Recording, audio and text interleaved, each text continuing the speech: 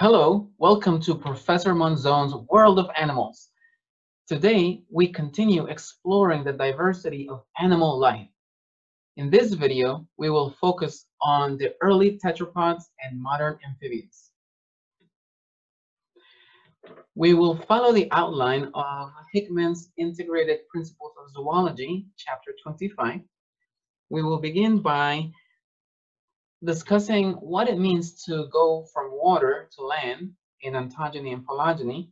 Then we'll talk about the Devonian origin of the early, early tetrapods.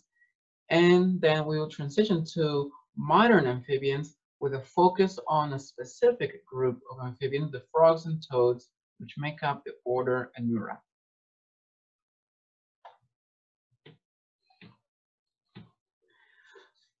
All right, so the movement from water to land is a dramatic event in animal ontogeny and animal phylogeny. By ontogeny, we mean the development of a single animal. So for example, an amphibian uh, beginning its development in water and then continuing its development in land uh, or to go on to live on land is a dramatic transformation. Similarly, the evolution of um, vertebrates starting as solely aquatic animals and then evolving adaptations to permit them to colonize land was a dramatic event in animal evolution. Think about it. Life originated in water. The bodies of animals are composed mostly of water, and most cellular activities require water. So going from water onto land required requires lots of modifications to the animal to permit them to go into this very different environment. Let me ask you this, which other organisms made the evolutionary transition to land before the vertebrates? By this time, you should already know we've discussed various phyla that have made the transition to land before the vertebrates.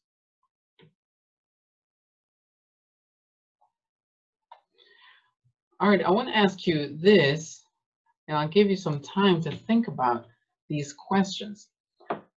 What developmental modifications are necessary for an aquatic tadpole to become a terrestrial adult? The other question is, what evolutionary modifications are necessary for an aquatic vertebrate to become a terrestrial tetrapod? If you think about it, these are really the same questions, but one is focusing on ontogeny, the development of an individual tadpole, and the other one is focusing on phylogeny, the evolution of vertebrates. So I want to give you one minute to think about it, and I'll disappear for that minute while you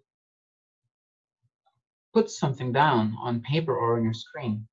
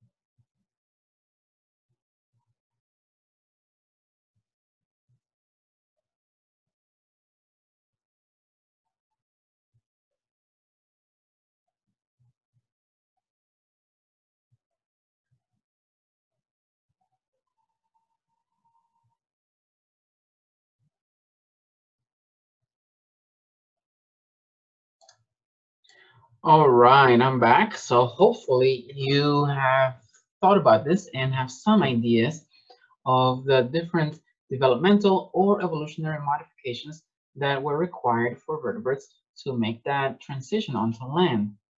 If this was a live session, we would uh, discuss your ideas a little bit, but uh, since this is a recorded session, uh, let's go on.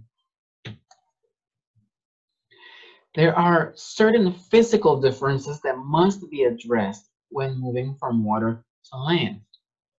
For example, oxygen is 20 times more abundant in air and diffuses more rapidly, so animals must possess lungs or skin suitable for respiratory gas exchange.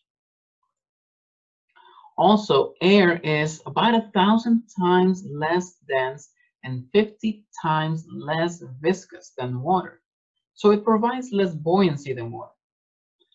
Limbs and skeletons must therefore support more weight. And lastly, air fluctuates in temperature more rapidly than water, so animals must adjust to the extreme habitat conditions like freezing, thawing, and drying. Modern amphibians make this necessary, uh, these necessary modifications during their own ontogeny. So amphibians undergo this remarkable transformation that changes them from aquatic juveniles to terrestrial adults. In amphibians, masses of eggs hatch in the water into limbless, gill-breathing, fish-like tadpole larvae that feed and grow in that aqueous environment. And then they undergo this remarkable transformation called metamorphosis. The word means change in form and it starts with the appearance of hind legs, the shortening of the tail, the loss of larval teeth and gills, development of eyelids to keep those eyes moist in outside of the water, and the emergence of forelimbs. So here is basically the life cycle and metamorphosis of a leopard frog. No, just kidding. This is a little too oversimplified. This is a figure from your textbook that shows the life cycle and metamorphosis of a leopard frog. Let's start over here. Let's start over here. So here we have this male frog that is clasping this female frog and he's going to mate with her as she sheds her eggs in the water. He is at the same time shedding his sperm and fertilizing these eggs. And so now here we have a fertilized egg or a zygote that is surrounded by this jelly. In that jelly mass, the zygote is going to go through cleavage and is going to continue developing, here developing some um, a anterior posterior axis and then that embryo is going to uh, grow into a tadpole. Uh, usually they are herbivorous tadpoles that feed, feed on algae. Uh, you see as it's going to begin its process of metamorphosis, you have these hind limbs and the forelimbs emerge. The tail is going to um, begin to shrink. And here we have a sexually mature frog that is ready to mate and begin the life cycle all over again.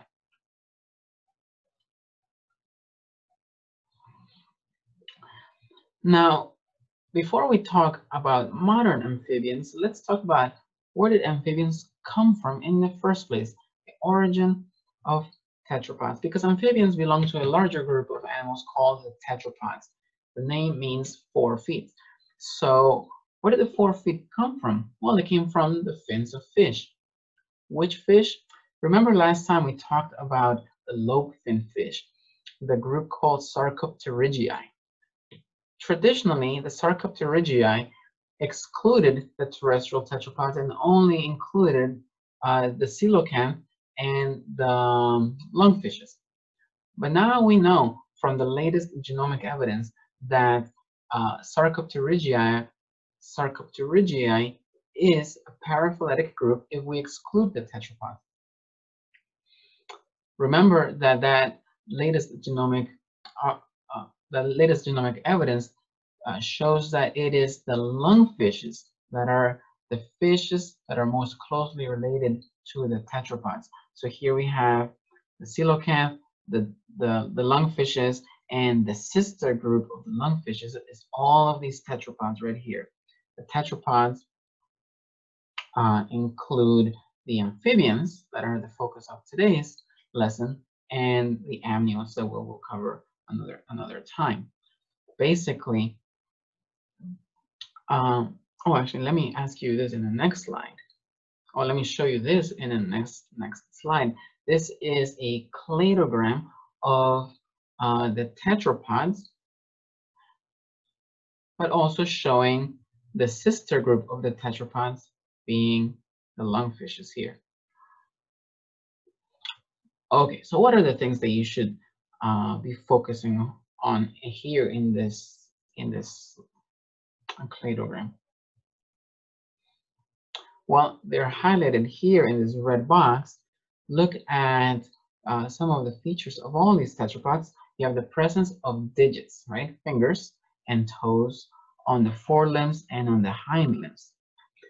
Tetrapods have definitive ankle and wrist joints. So not just these fins that do this, but now you have um, these joints that permit the limb to bend in different directions. Those are the wrists and the ankles. Tetrapods, tetrapods have well-developed pectoral and pelvic skeletons. Okay, the pectoral is for uh, the, like the shoulder girdle and the chest area to support the forelimbs, and the pelvic girdle is there to support the hind limbs. Tetrapods also have strengthened and ventrally directed limbs, uh, ribs, so unlike the fishes, which tend to be uh, laterally flattened like this, and the ribs are sort of oriented this way, tetrapods tend to strengthen their ribs and they put them more ventrally here to support their weight on land. And they also have numerous skull modifications since they're going to be breathing air and uh, yeah, breathing oxygen from the air and not extracting it from water through their gills.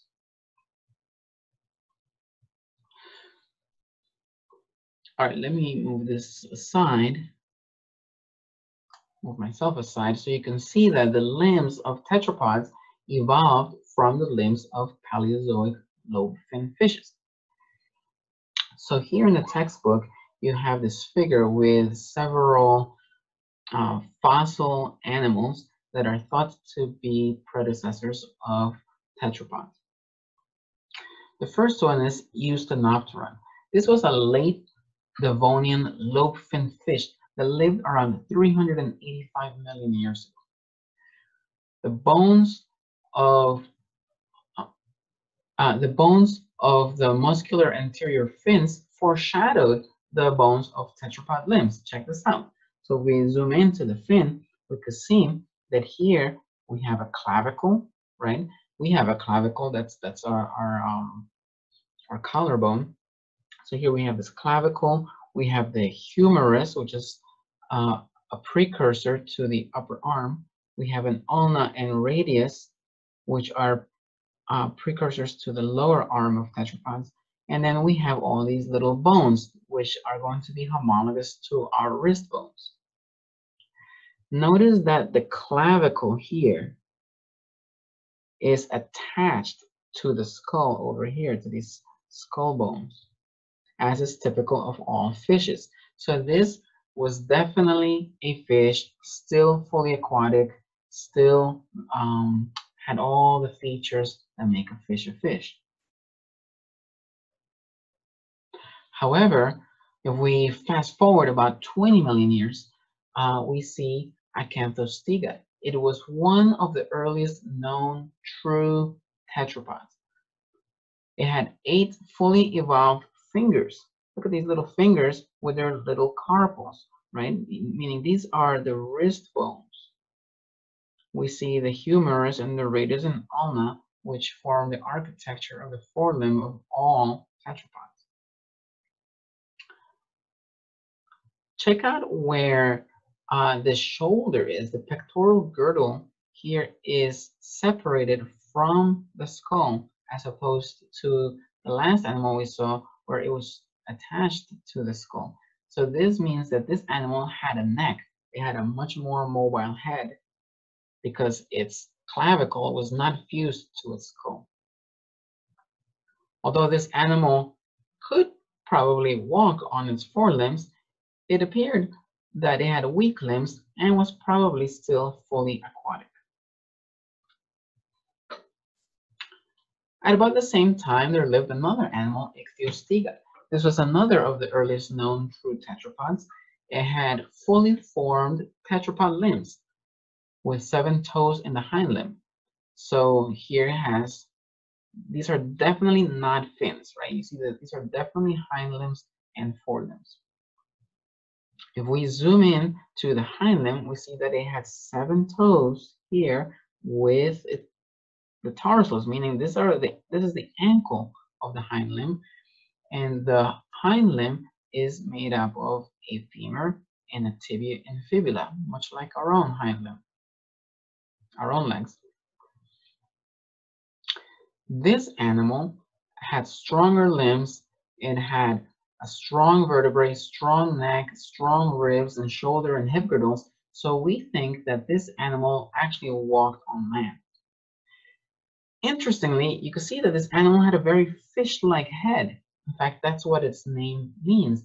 Ichthyostega means that its roof, like the roof of its skull, is shaped like that of a fish. So this animal had a fish-like head and a fish-like tail. So it also very likely lived in water and so it um, very likely had an amphibious lifestyle. Then if we fast forward a couple of million years, we see Limnoscelis. This was a carboniferous tetrapod that had five digits on both the front and the hind limbs.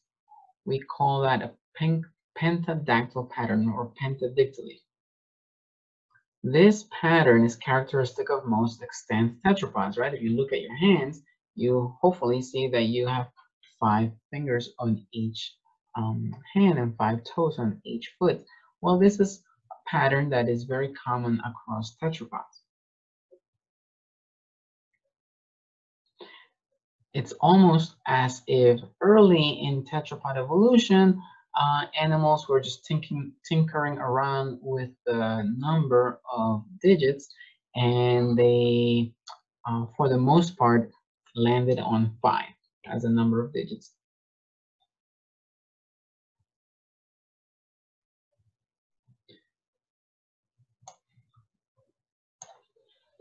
All right, let me ask you this before we get to really discuss modern amphibians. when did the earliest fossils attributable to modern amphibians appear? Check out figure 25.1 to attempt to answer that question.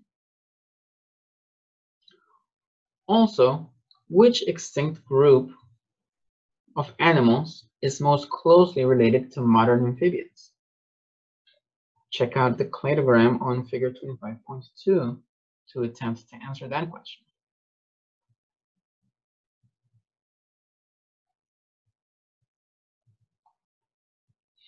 All right, let's talk about modern amphibians for a bit.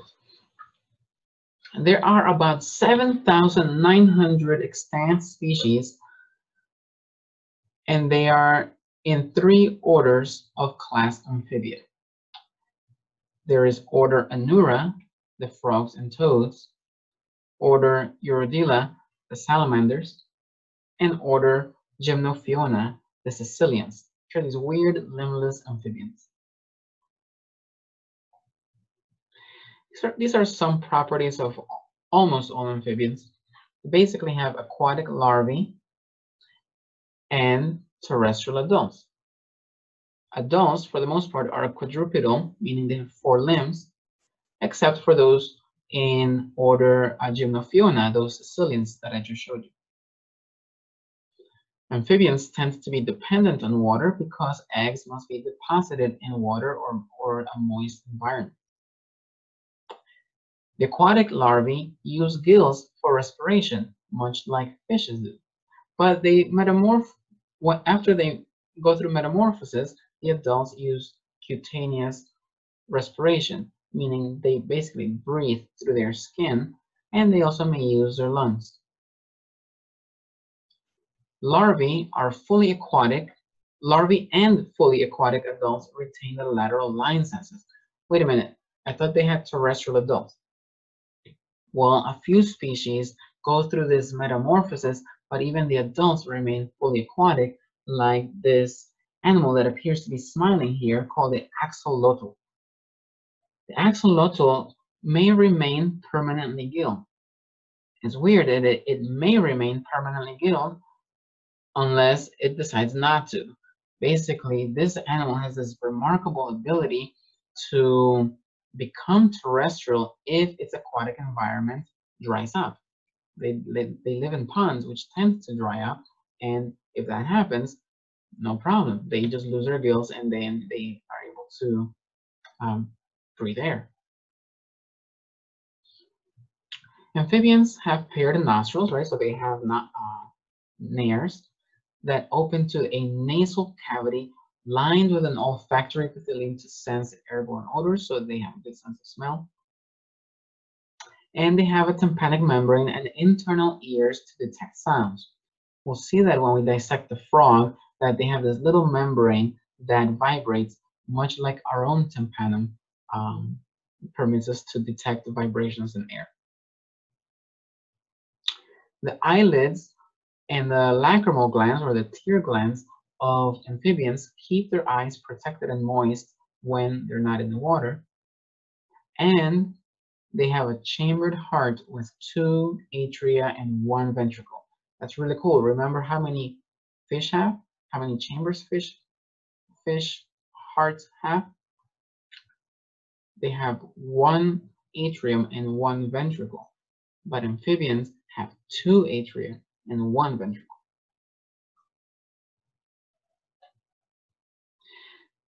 So I mentioned that about 7,900 species exist in class Amphibia in three orders. Well, one of those orders, order Anura, is made of about 7,000 species of frogs and toads. Anurans are basically tailless amphibians that are specialized for jumping. Because they are ectotherms, meaning that their body temperature depends on the external environment, they are and and they are dependent on water, their distribution is limited to warm and moist regions. However, some species can survive in the Arctic and some others can survive in deserts. Now let me ask you, how do you think wood frogs survive the winter, even in the Arctic? What adaptations do you think they possess that keep them from freezing?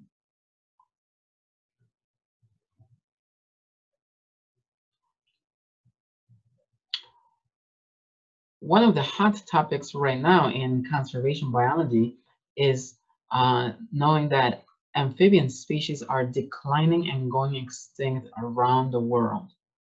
This is very alarming, and so it's important that we understand why. So what are the three main causes of amphibian declines worldwide? I'll leave you with those two questions for you to find on your own through your reading.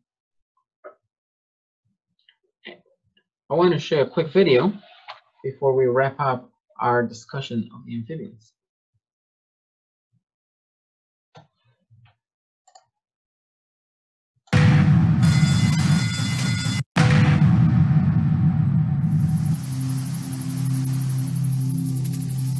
Hailing from the Pacific Northwest, the rough-skinned newt is one rough customer.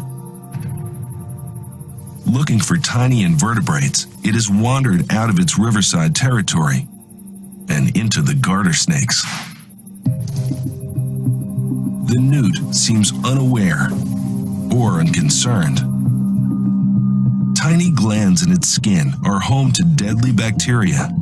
They produce tetrodotoxin, a lethal poison that paralyzes the muscles, stopping the diaphragm and heart. Garter snakes, though, have evolved a tetrodotoxin tolerance. An arms race between snake and newt has led to higher and higher levels of both resistance and toxicity.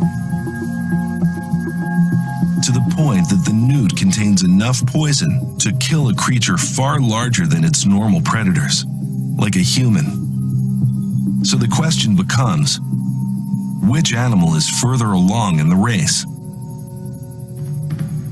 The newt arches its back and displays its orange underbelly, a clear signal that it's not to be messed with. the garter snake decides it's not worth the risk. But the same cannot be said for all predators.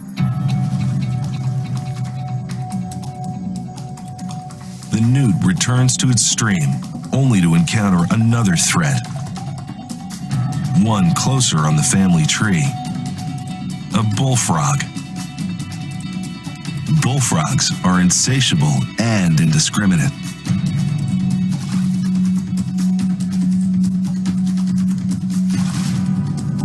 It swallows the newt whole. Inside the bullfrog's belly, it's a race between the stomach's acids and the newt's poison.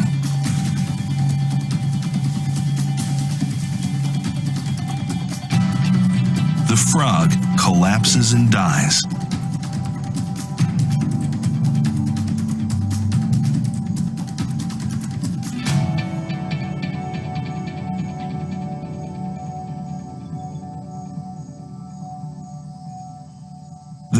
Climbs out and is finally on the way home.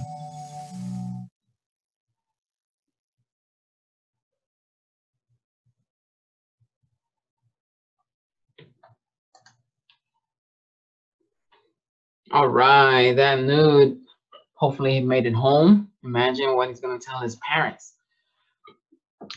All right, I hope you enjoyed the video, the lesson on these fascinating little amphibians. And I'll see you next time. Until then, be strong and courageous.